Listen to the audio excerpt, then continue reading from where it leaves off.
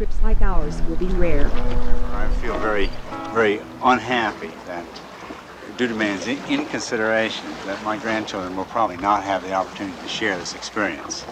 And if that's progress in the true American sense, perhaps that's, uh, that's the price of the computer age.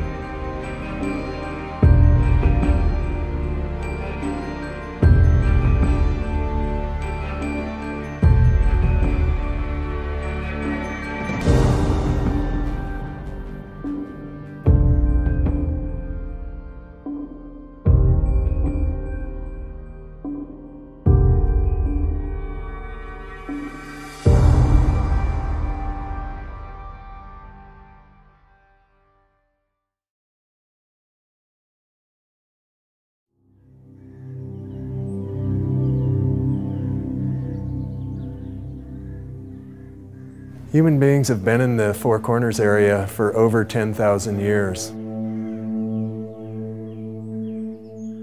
The hunters and gatherers and the people that followed them just had an encyclopedic knowledge of their environment.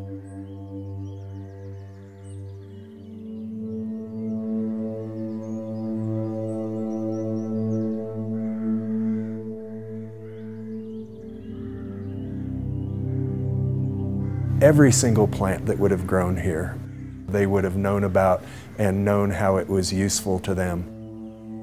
The animals that lived here, their patterns of movement.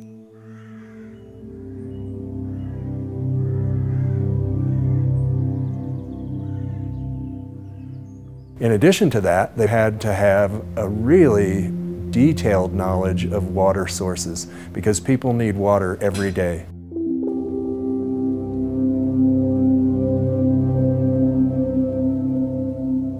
Biggest change in human beings' adaptation to this environment came with the introduction of agriculture.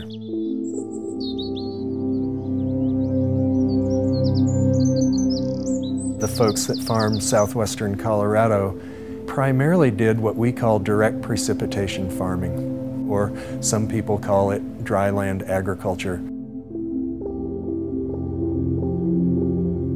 They weathered many droughts, including some that were more severe than the one of the late 1200s. You know, one of the lessons is that at certain times, that success broke down.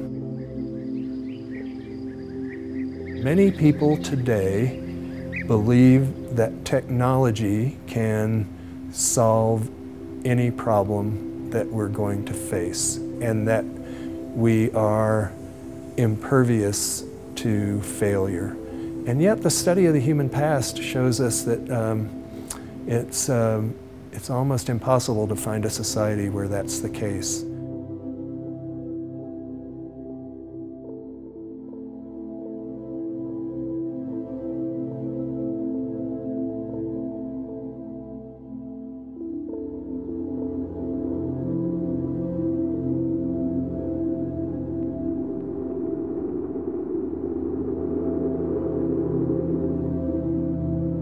History plays a role in where we're going into the future. We've come a long way, but yet we have a long way to go.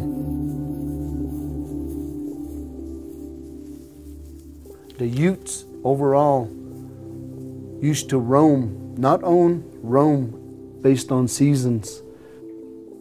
Our creation story is the Creator had a pouch and all these people were in it. He built the world, everything, and he had all these people and he wanted to rest. He sat down by a tree, and way over there was Coyote. Coyote was curious what's in that sack? So he snuck all the way around, came over, and just as he was going to grab it, Creator awoke and he said, Hey, what are you doing? And the bag fell over, and all the different people ran out.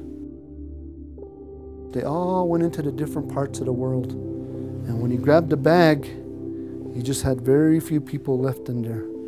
And those are the Ute people.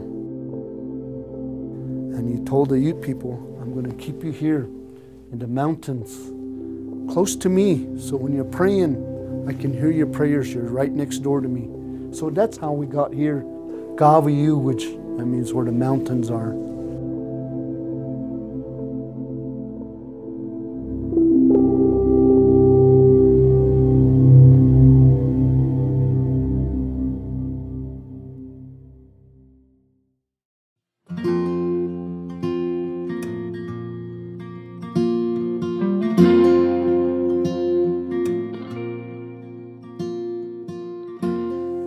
I think agriculture is, uh, it's the lifeblood of this community. The land, the development of it is from the water.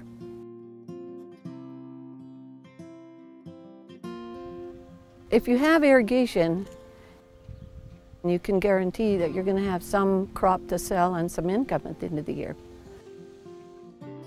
It's hard, you know, it's hard financially. Um, You've got to be tough to be a farmer. You get one paycheck a year. The Dolores River is the lifeblood of this community. If we did not have that water, we wouldn't be having this community. We would look more like the desert. We're dependent upon the resources. Comes from, comes from the land, comes from the water development. And, uh, you know, I'm, I'm really proud of our community.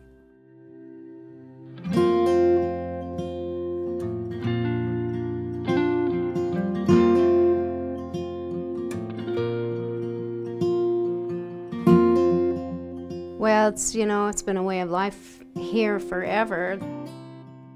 The sad thing is we don't have a lot of younger generation kids wanting to be farmers. It's just not a bright future for dryland farming anymore.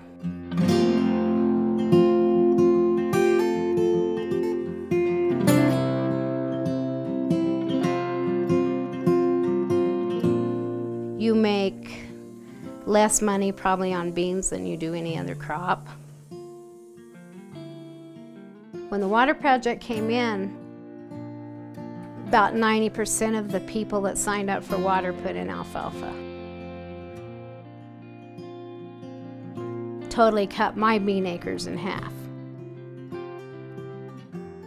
The water people kept saying, don't put in 100% hay, because if we have a drought year, you're not going to be able to keep it alive. Well, most of those guys did it anyway. And then, of course, sure enough, along came drought, but a lot of times when there's drought, they don't get all their water either. Like if we have a short year of water, some of them will actually put in beans because they can survive with less water.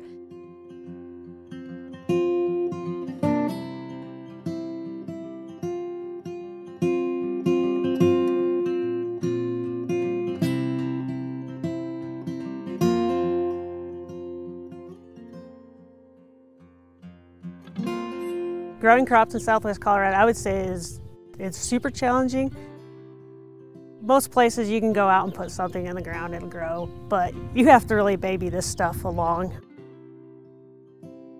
The winds, the dry weather, erratic frost, you never know. We get 22 inches of water per acre, and now this year we get 10. Because of the drip irrigation, I'm not worried about that because uh, with the way we have it all set up.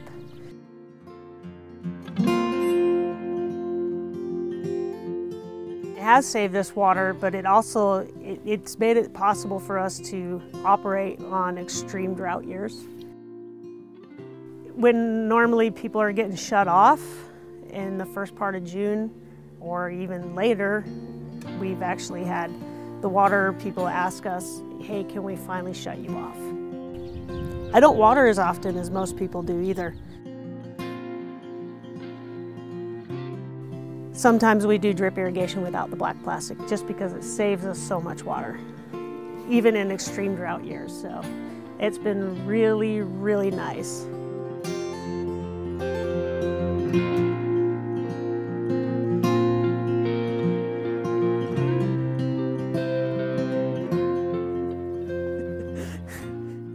I do find that the planting a diversity of things really saves our bacon a lot of times. This was all hayfield when we first moved here. And I remember walking out here with my bag of seeds standing on that edge and looking out across and thinking, hey, this is home, you know.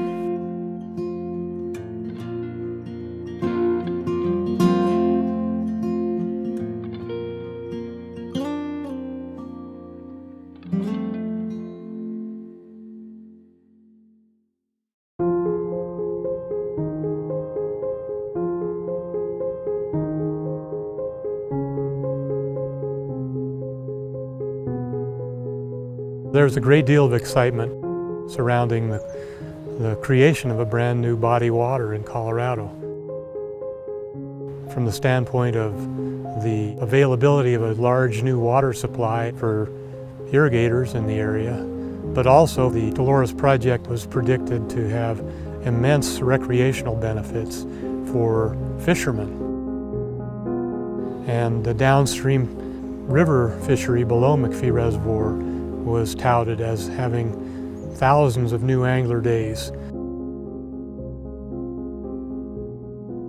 Conditions that existed for the first five years after the dam closed, roughly from 84 through 89, were ideal. During that five-year period was probably the golden era for, for trout in the Dolores River.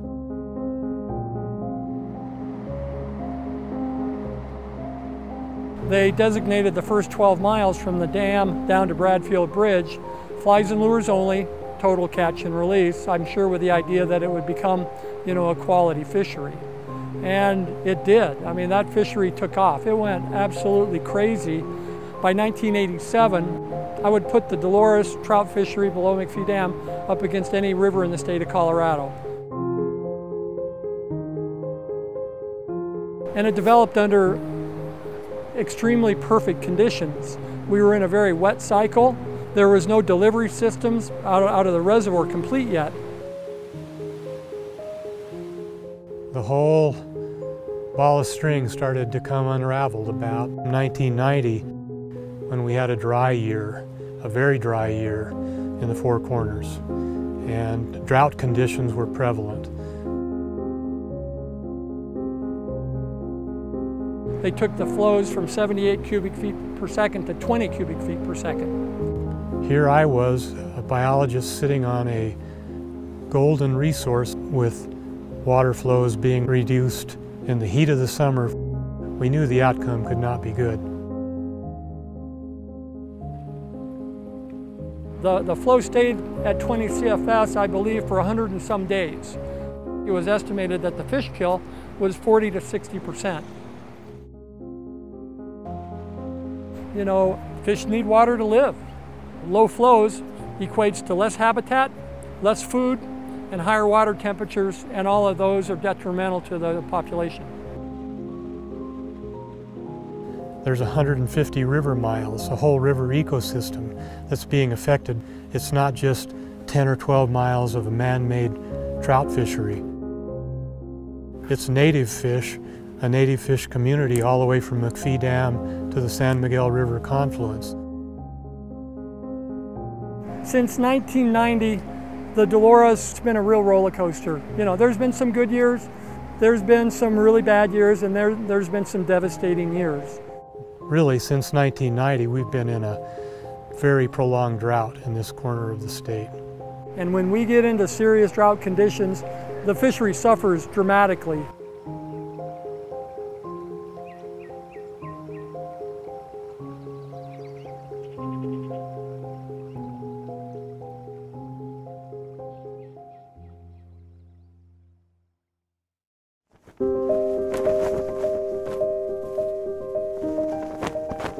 My constituents feel like they own part of that water.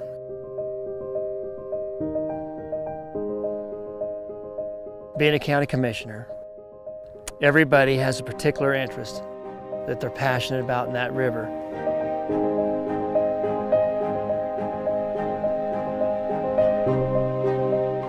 Because they're so passionate about whatever their interest is, whether it's boating, whether it's you're a farmer, whatever it is, each side feels threatened from the other side. But in reality, everybody owns that river.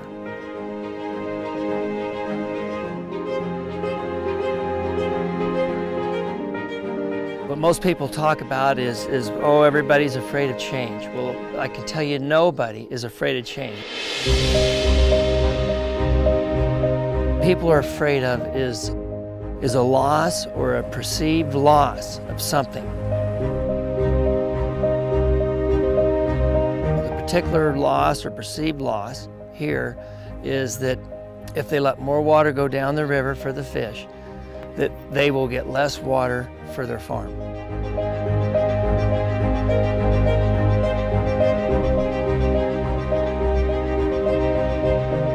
All the water is already allocated there is no extra water that, that is available to send more down the river. There's passion involved on both sides of the issue. There's passion on, for the fish, there's passion for the farmer.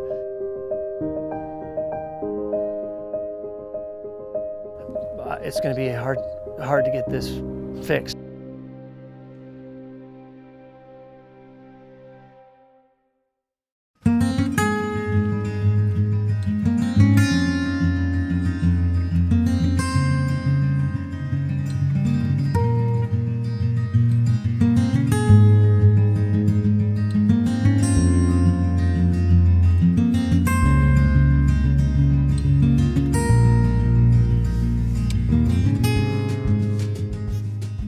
History of the American West where the thought was there was plenty of water and we can dam these rivers um, and use them primarily for agriculture without consequence necessarily.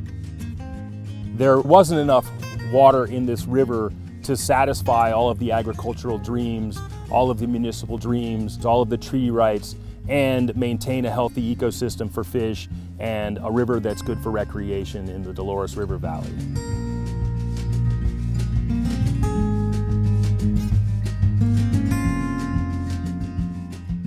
Go on a trip on the lower Dolores, first you kind of have to be like a mountain lion ready to pounce on prey because the situation has to be perfect where the mountains fill up with a ton of snow, fills up the reservoir so that there's excess water to send down the river. But we don't really know when that's going to happen until late March, maybe April, maybe even the beginning of May. So if you're a boater and you want to raft this river, the Dolores River, you got to drop everything, make it happen, get there at a moment's notice.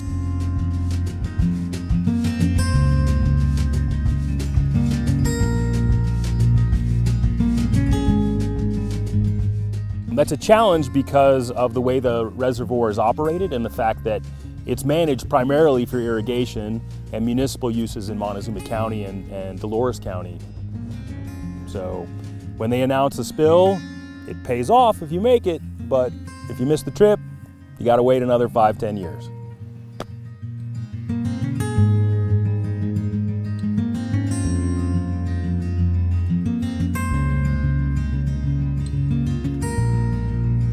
When I first came to boat the Dolores, it was after one long stretch where there were no boatable flows for about four or five years.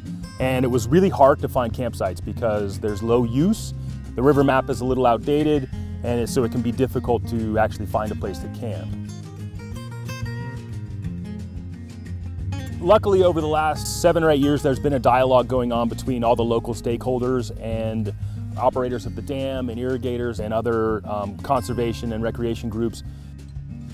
Those dialogues have gone a long way to at least set some standards that clearly define what's good recreational boating, but it all depends on how much snow falls. There is really, if we look at it, one priority. 85% of the water that used to freely run through the Dolores River is now used for irrigation. What we would like to see is a change in those circumstances so that there's more flexibility with how the, the reservoir is managed and that would allow more access to more of the recreational public and the fishing public to the lower Dolores River.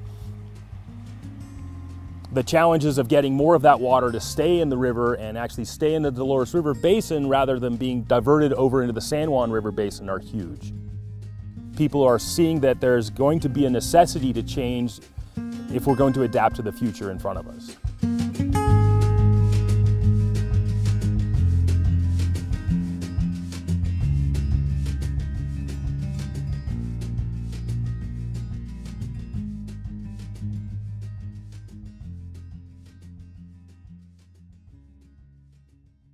If I could change anything, it would have been beneficial to have a better understanding of the deepness of the shortages that we were going to experience as a project. The future is about drought resilience. How do we deal with a hydrologic cycle as we are likely to experience it? Uh, we're really working on how we manage through those cycles. And it really requires one set of objectives when you're low in the reservoir, when you have no buffer and you're totally reliant on snowpack, then really the emphasis is on trying to minimize the shortages that, you're, that people that are relying on your water are going to experience.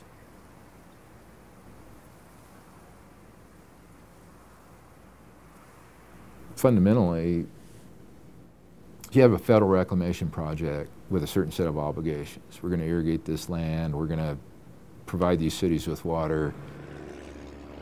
And there's, a, there's laws, reclamation law, and then all these reclamation contracts to operate the project. Then you get downstream and you got a different set of mandates and those things are in conflict with each other. So what we're trying to do is reconcile how do we do our best in, uh, in as far as taking care of the downstream values without diminishing uh, the water supply needs and benefits to the community.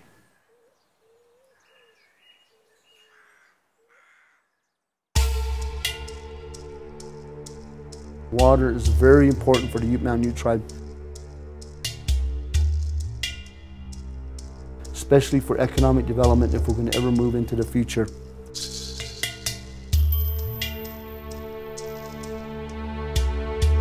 Through history have never really been told the true story of how we came to where we are today.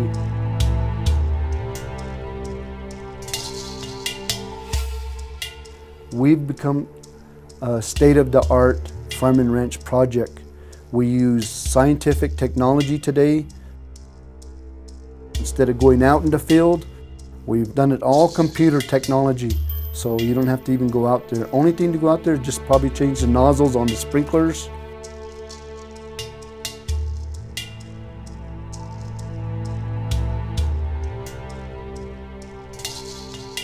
One of the challenges for Farm and Ranch on the product and water allocation is McPhee, the reservoir itself, does not have a huge runoff based on Mother Earth and the snowpacks in the mountains. And it's getting shorter and smaller allocations. It's a great enterprise. It's still a challenge. Farm and ranch is really just right on the border of breaking even or in the red. We went from uh, 24,000 acre feet for farm and ranch to 10,000 acre feet but we need to look at it from a business side and see how we're going to move forward. And every farmer can see that.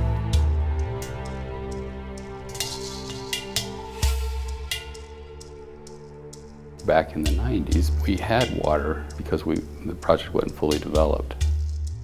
Then in 2000, it, it became fully developed, and, and that's really when we started seeing all our water problems. It's the years where you're right on the edge. Are you going to fill or you're not going to fill? Forecasts can be off. All the time you're filling, you still got your irrigation demands going on. So our, runoff period is April, May, and June.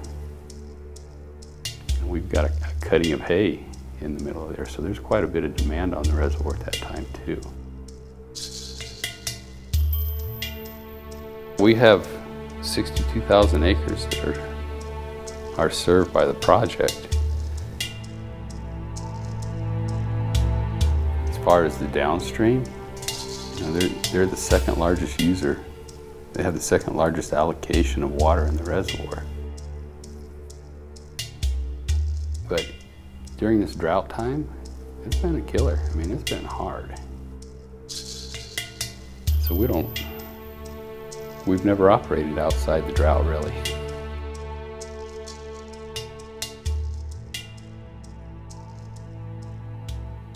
the water that comes out of the Dolores Basin and goes into the San Juan Basin through the Montezuma Valley and the irrigation there.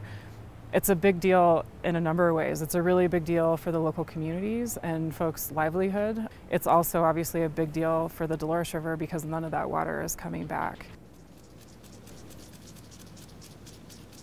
When the project was created, there wasn't really a big focus on the native fish and, and things like that. And so, you know, that's come into the picture later on and it, it can't really be pushed aside. It really has to be, has to be dealt with.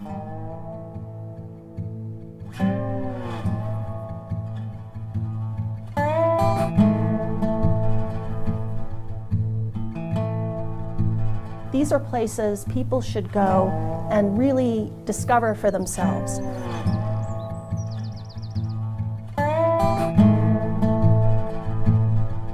The Dolores River is surrounded by incredible public lands, vast acreages of wilderness study areas that represent some of the most beautiful and wild country we have left in the United States.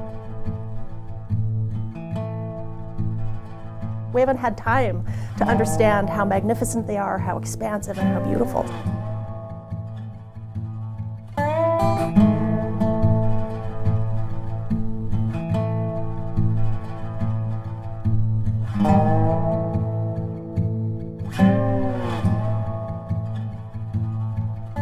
National conservation lands are made up of wilderness areas, wilderness study areas, national monuments, national conservation areas, and they really are some of the most culturally and ecologically significant lands that, that we have.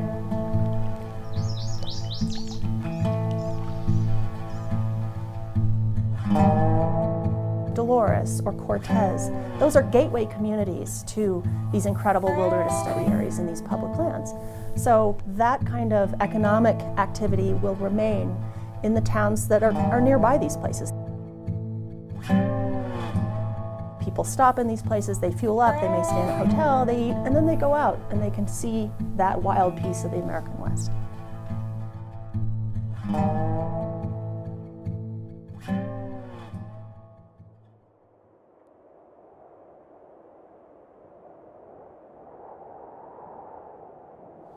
Mean, the emotion that I feel is, uh, you know, it's really sad today that we can't have more people come and see this place.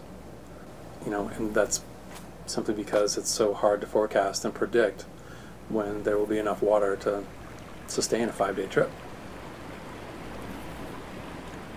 You know, we don't see flows like we used to when the Dolores was run and it was becoming this icon of the river running culture.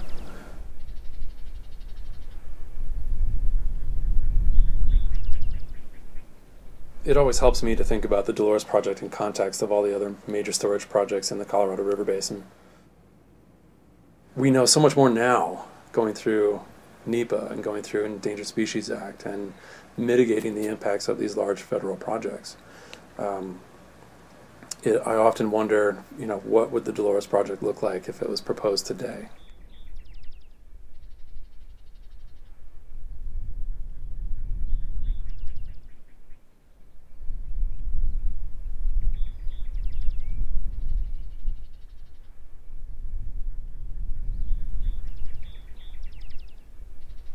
You know, sometimes life just kind of leads you in a direction.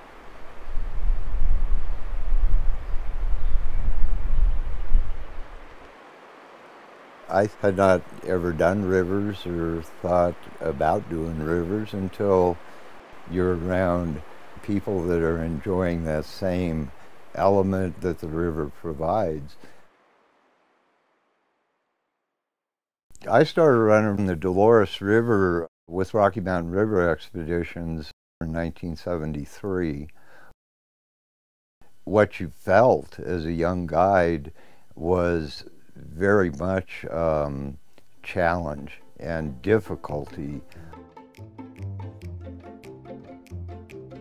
Conditions were cold, cold.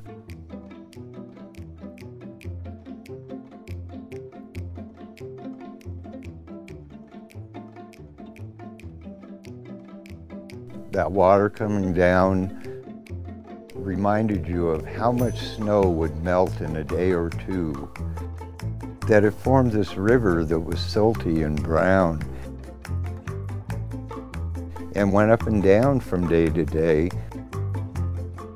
But there was always current and always challenge. We were always hitting a lot of rocks.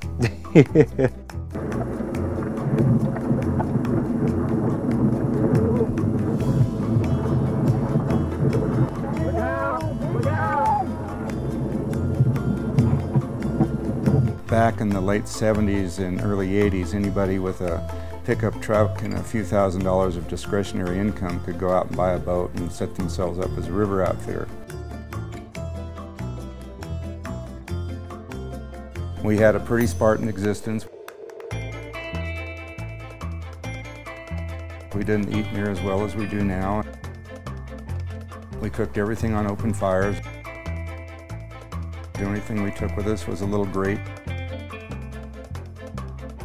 I guess in my years of, of, running the Dolores, we would probably average somewhere between eight to 10 trips a year. If you just did the top section, it was a three day. If you went down all the way down to bedrock, it was a five day. Well, I've always described the Dolores as one of the three best river trips in the country. I would rate it right up there with the Grand Canyon, the Middle Fork of the Salmon in Idaho. It's because of the quality of the resource, the, the beauty of the canyon that you go through, the pristine wilderness that you float through, and back in those days, the quality of the whitewater.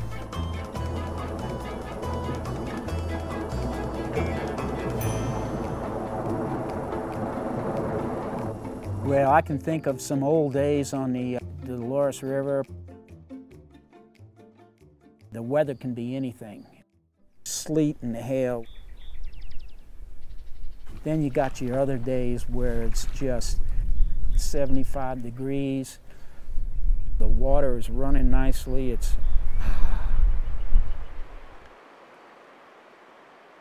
as the river ranger, I'd get phone calls and I'd talk to people from Washington State, Massachusetts, Connecticut. People from all over the country come for the nature of the Dolores River experience. Idaho, Texas, Oregon. As great as the campsites and hikes are, and they're good, it's but oh, as soon as you get everything packed and all, then you sit down and you just go, ah, and maybe you tuck your oars in, back on the river again.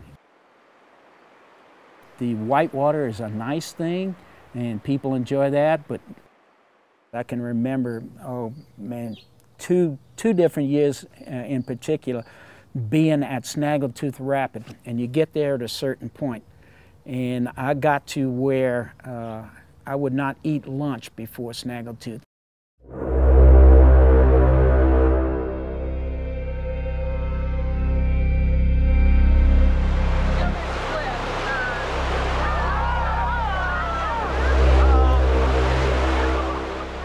Biggest limitation was, were you a good enough guide to get through Snaggletooth?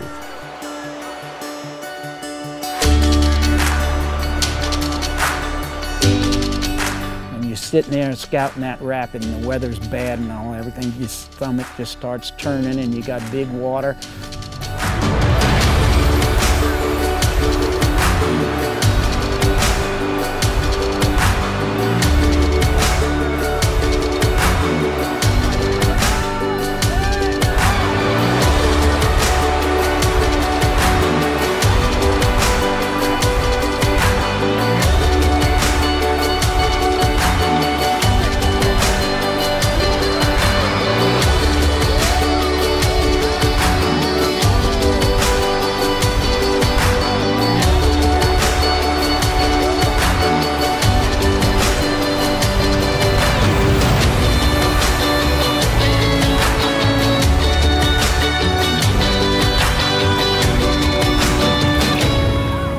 Dolores set everything else apart. The ones that made up their mind that it was too hard, they didn't come back for any other training trip.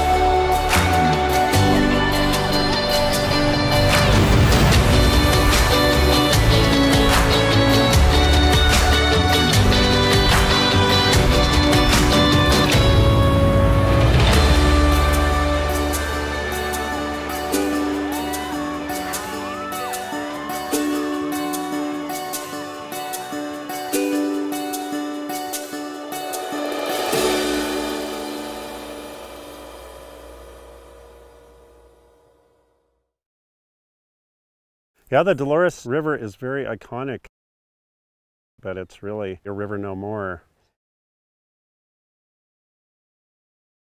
It needs to be seen and supported, and it needs to be a river again.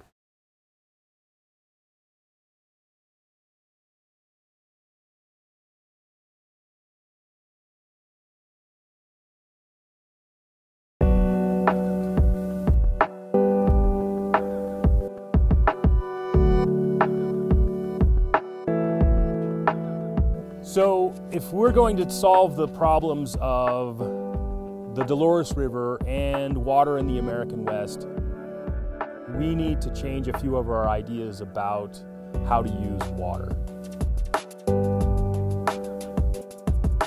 Protection of our water supplies really hinges on doing our very best with the downstream environment.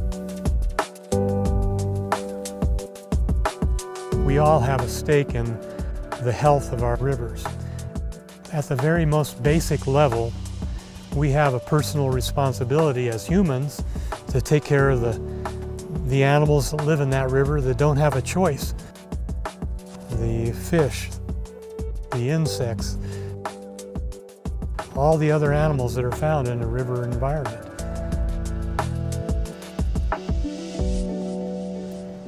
Water rights really guide a lot of what can and can't be done here.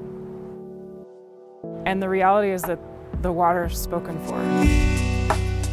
It really has to become a willing situation for somebody that has water rights to want to um, or to need to um, potentially um, enter into a situation in which some of those water rights could somehow be transferred.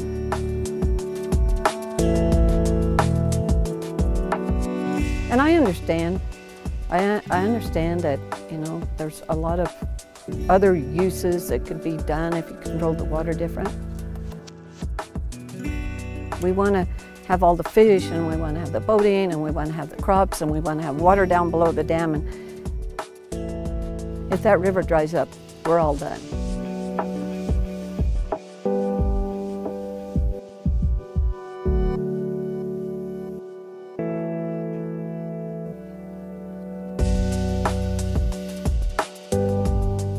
Without developing these mechanisms for fair and just sharing of these resources, that, you know, it's a matter of the quality of life. Look at what we have inherited in the Dolores that we see today. And is that really what we want to leave 50 years from now? Before the demand from the public is there to protect the place, there's a small group of local stakeholders that recognize its own intrinsic value, part of their identity, part of the identity of their community, and that it's worthy of protecting.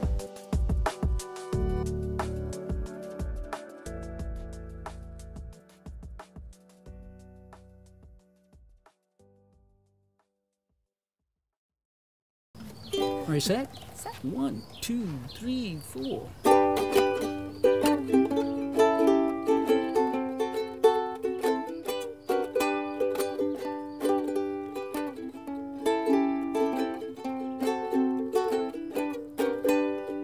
I'm gonna strum my cares away, watching the sun sink into the bay. It's too hot to work, so here I'll stay, strumming my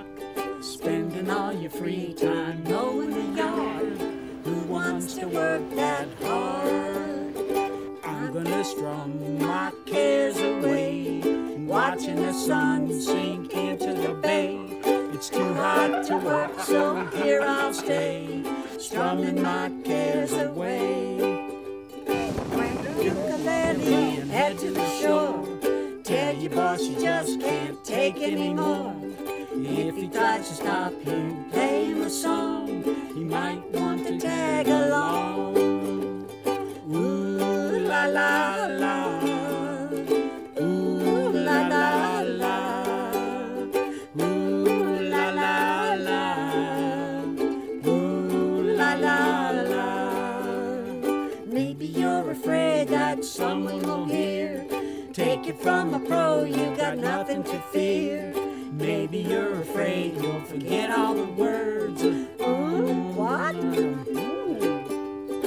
I'm gonna strum my cares away, watching the sun sink into the bay. It's too hot to work, so here I'll stay, strumming my cares away. I'm gonna strum my cares away, watching the sun sink into the bay. Too hot to work, so here I'll stay, strumming my cares away. Ooh la la la, ooh la la,